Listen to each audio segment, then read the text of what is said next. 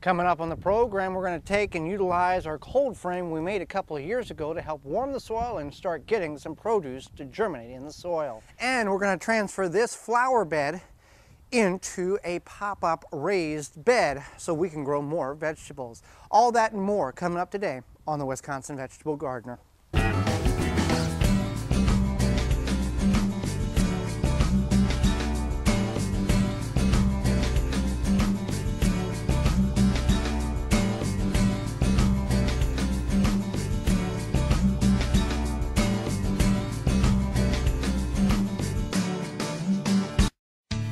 The Wisconsin Vegetable Gardener is sponsored in part by for all your non-GMO, heirloom, organic, vegetable, flowers, and herb seeds.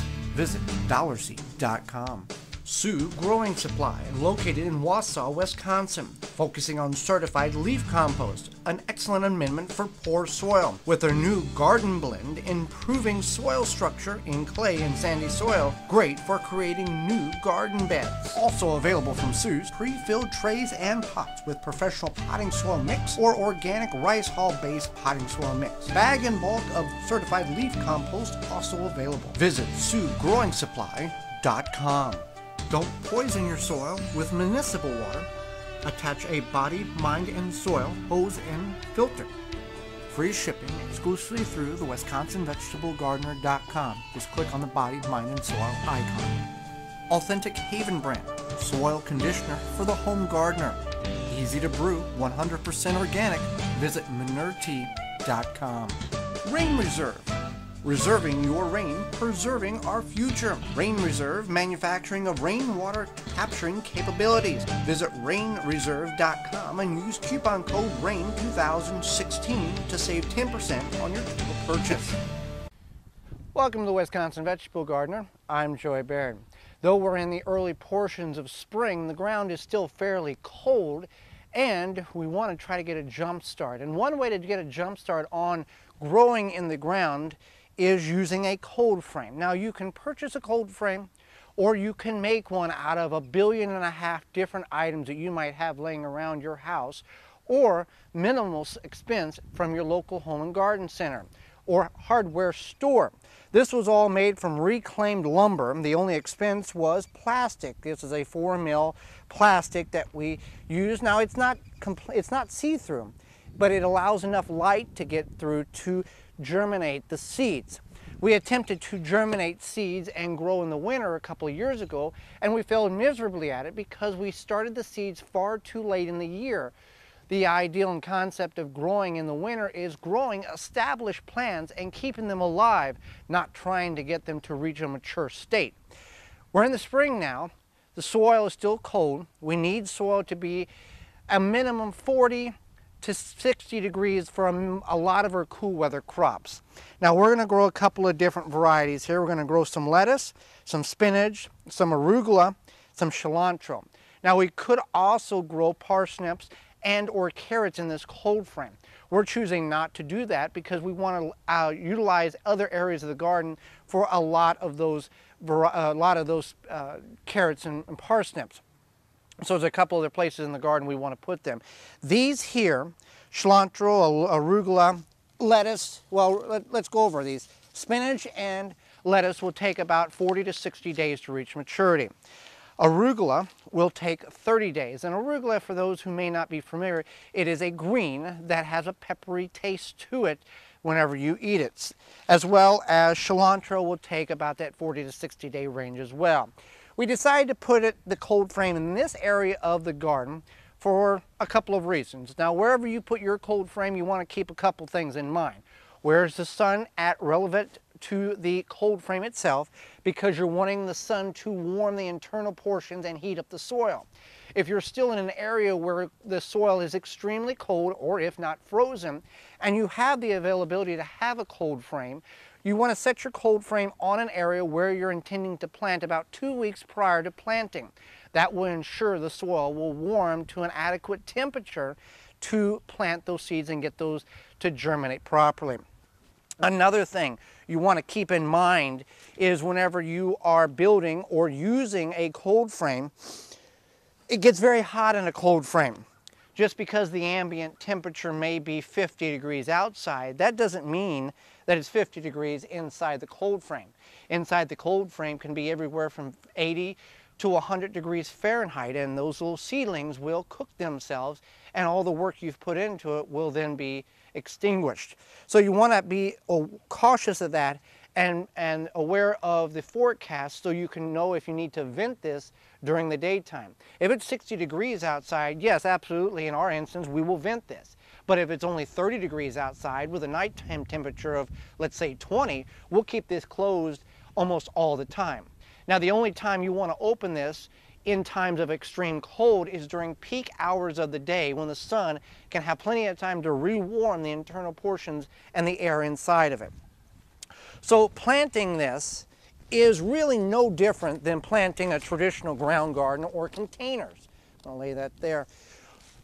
The thing you want to keep in mind is, and, and we've made this out of straw bales, this is uh, 2 by 10 reclaimed lumber here, is you want to, one, in our instance, we worked the soil, got all the weeds out of it, and then we also made sure that this was all nestled in the soil so there would be no uh, opportunity for air to seep up underneath. We also have this gasket of other uh, leftover plastic just to add more of a seal to it. Obviously, we're not nearly as concerned of keeping the Arctic cold out of this due to the fact it is springtime. Now, if it was later in the fall, then we would really go an extra mile to ensure that the internal portions of this cold frame was kept warm. This is also an opportunity for the techie people who want to really uh, itemize and, and look at how outside temperature versus internal temperature of the cold frame, how it affects. And you can have a thermometer. You can put a remote thermometer here and you can see if it's how much it is inside versus outside. So that's something else that uh, you can play around with. And with our leaves, we can also just put around for more insulation.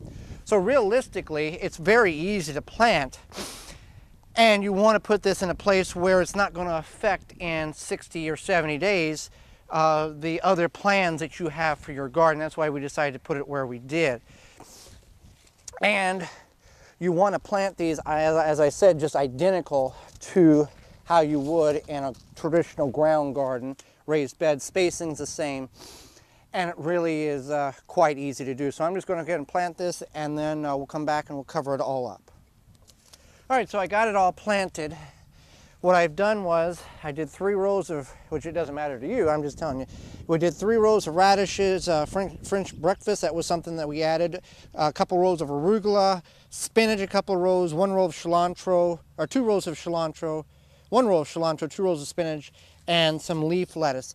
And I'm just gonna pick up our seed packets and I'm just gonna gently cover it in. Now, the radishes will germinate about uh, well, all this will germinate seven, 10 days because it will be warm in this cold frame. Radishes will be the first to come out in about 25 to 32 days. Then the arugula, and then the uh, lettuce and spinach and cilantro will come out. Now the question will be asked, what else could I, could I make a cold frame for tomatoes or, or peppers or squash? You certainly could. Those are called low tunnels or tunnel uh, greenhouses. Now, certain people will try to do winter sowing, and that is a method of where you take all types of seeds, cool weather and warm weather, and start them in milk jugs outside during the frigid temperatures of winter, and they'll germinate. It's a process, and it's uh, it, it's not for everybody, but it's certainly is something that uh, should be looked into if you would like to uh, to try that. Now, a low tunnel or uh, is a tunnel that is low. It's you know a foot, two foot high. Now you could start you could put your transplants of your warm weather crops in it. Now, one thing I would greatly caution you with is by doing that too early, and you can also like do green beans too early in the season, you're not going to be able to keep the intensity, that heat that those plants want in that tunnel. By not having the adequate temperatures of that 55 degree soil temperature, for example, for tomatoes, and about 60 for peppers, by not having that consistency and that atmosphere of warmth, you're going to stunt the plants and put them in, uh, and stunt them and hurt them in the longevity of their growing. So as eager and as ambitious as we want to be of putting warm weather crops in the garden, unless you have a giant, cool, uh, uh, giant tunnel that you can walk in like a greenhouse, I would really shy away from putting some of those warmer weather crops in the ground earlier than what they should be. Something like this, a cold, uh, cold uh, low tunnel will work great for broccoli, cauliflower, kale, cabbage, anything like that, that it can handle some of that coolness, but it needs just that little bit of warmth to keep it going. So that's our cold frame. We're just gonna close it up. It's gonna be warm the next couple days. So we just want to vent it slightly so we can get some of that uh, greenhouse effect in there to warm the soil even more than what it is now, but also not to bake the seeds. All right, so this was an area in the sister-in-law's backyard garden where last fall early fall, we did lazy gardening. What was simply meant was we took a bunch of seeds and just broadcast them in this area. We worked the soil. Unlike the large garden where we're going with a, a minimal to no soil disturbance, we did work the soil here and we planted arugula, radishes, peas, any kind of cool weather crop you can think of that would grow very quickly. So they harvested as many as they could and you can see over the winter that it became a mat here that kind of protected the soil. Now, in addition to that, what has happened is, let's see if I can find something here. Uh, go back. Like this here, this was a radish that didn't get harvested. And what has happened is it has made a cavern in the soil and it's actually aerating and it's doing two things. It's as this breaks down and the, the soil and microbes eat it up and it composts, you're going to have a hole there which aerates it as well as allow water to penetrate into the garden, into the soil. So by leaving this and, and not ripping it up at the end of the year, it's allowing the soil to aerate and giving back to the soil for the, the, one, the items that didn't get harvested.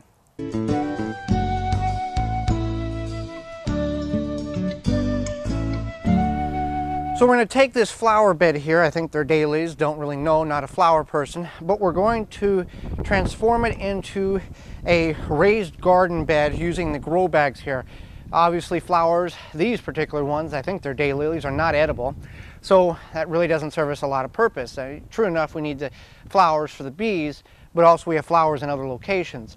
So we're going to take this area and take the flowers out and use these Root Trapper 2 giant grow bags. Now, the purpose of these were actually designed for developing tree roots. They would put trees in these and they would sell them to, and nurseries would use them and they'd sell them to, to customers. But we can take and utilize a 60 gallon grow bag, 15 inches high by 36 inches across, that's three foot, into growing edible vegetables. Now, obviously 15 inches is an incredible height for vegetables. So we're not going to use all 15 inches because that would be an excessive amount of extra soil that doesn't need to be used for this application.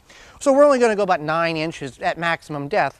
Depth. We're going to put uh, tomatoes, peppers. We believe we're going to put some beets in these. Really, it's kind of as we go type of thing. But we should be able, and we will, well, we will be able to get three, three of these grow bags in this area. Just got to take the uh, flowers out, get the soil level, and then uh, we'll put some cardboard down, but we'll get all to that, we'll get all to that uh, momentarily. So I want to get these flowers out and then we're going to bring some of the compost that we've got in our compost pile and put at the bottom for a base and then we'll bring the Hsu, uh, Hsu Growing Supplies uh, certified leaf compost and fill the top. The reason for that is Hsu Growing Supplies, they create their compost and they heat it, uh, it's a heated compost. Ours is not necessarily heated compost, which means that there are still some viable weed seeds in that compost. It's still good compost, but we're going to take that and put it in the bottom third of these bags and then put the good com uh, put the, the good compost on top that we know have no weed seeds on it, just to stretch our compost and uh, fill the bags up. So I got to get these uh, flowers out of the way, get this ground level, and then we'll get these bags located and put some soil, good, get some compost in them. All right, so I got the ground level for two of them. We're holding off just for a little bit here on the third one because we have daylilies there, but we believe those are irises, and I'm not sure if we want to get rid of those or not. But we can get these two here, these two grow bags here, ready to go. What I've done, we leveled the ground, took the flowers and the roots, sifted them with our sifter here, got all loose particles, all good soil out of it, and then got rid of the, the roots. Now what I'm going to do here, as just a precautionary measure, is I'm going to take these cardboard boxes, break them down, and lay them flat underneath. So just kind of like you would with a raised bed, suppressing, just so we can suppress the weeds, and then this will break down. And because of the porous, the holes or the, the netting in the bottom of this, the microorganisms can enter in and out of the grow bag. It won't be just like a, a plastic container where nothing can penetrate it.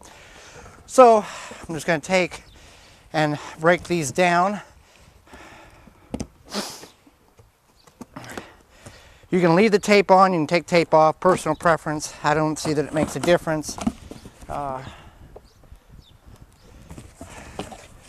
and I'm wanting to cover just the area that's going to be that the grow bag is going to be sitting on top of. So I'm going to have to do some artsy crafty work. Well, here's what I can do. I can take and split this.